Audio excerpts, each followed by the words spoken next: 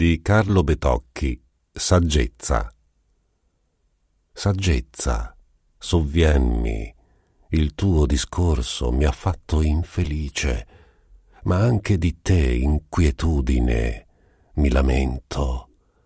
Solo voi, improvvise gesta del caso, vagheggiandomi, mi conduceste ove bramo, e intorno era il prato disteso fino alla selva, e in fondo il silenzio che a salti accorgevami, bello, disconosciute linee, mi veniva incontro, dileguando.